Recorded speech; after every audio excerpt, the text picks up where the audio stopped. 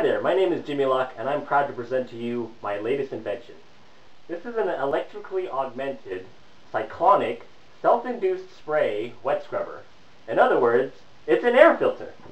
So let me show you how it works and what it's made out of. Dirty air goes into this port, goes down, and then gets cleaned, and then comes out here.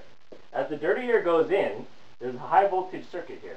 It charges and ionizes the incoming air. It enters uh, water swirls around and is attracted to the water. So the water is scrubbing out the particulates. So here it is in operation.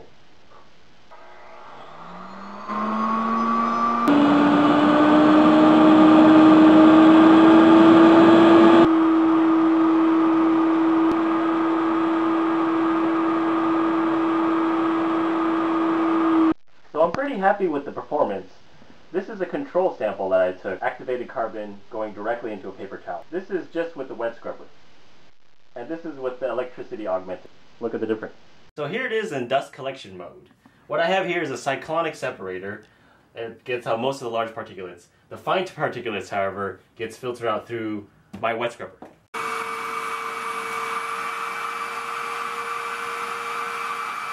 So that's what ended up in the water, the fine particulates. Why don't you take a look? Look at that yuck. But better in the water than in our lungs. Here's what didn't work about my machine. Uh, the electrical charging circuit kept shorting out to the liquid that was submerged in below. To compensate for the charging circuit, I had another charging circuit outside, which is this wire brush. So as the air enters in, it'll be electrified by this brush. In the future, I'd like to improve on these and try to make the whole unit smaller.